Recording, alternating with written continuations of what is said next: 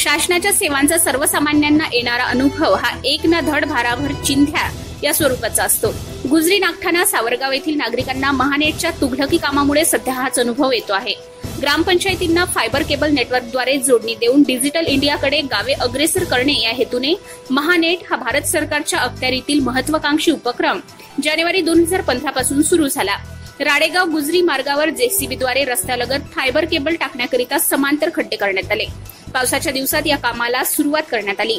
Cable बुजवल्यानंतर त्या नालीतील संपूर्ण माती जेसीबीद्वारे रस्त्यावरच टाकण्यात आली. पावसामुळे ही माती ओली झाल्याने या रस्त्यावरून वाहन चालवणे जीवावर बेतणारे ठरत आहे.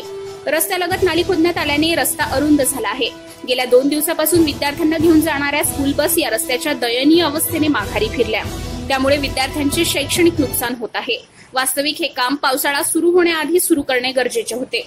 मात्र तसे झाले नाही. विशेष म्हणजे आपत्ती व्यवस्थापन करणे ही जबाबदारी ज्या महसूल विभागाच्या अखत्यारीत येते त्याच कार्यालयात ह्या आपत्ती आणणाऱ्या महानेटचे कार्यालय आहे. ठेकेदाराच्या मनमानी कारभाराने या मार्गावर अपघातांची शक्यता वाढली आहे.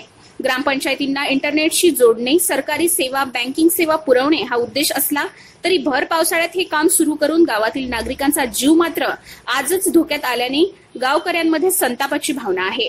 महावॉईससाठी अक्षय काळे राडेगाव.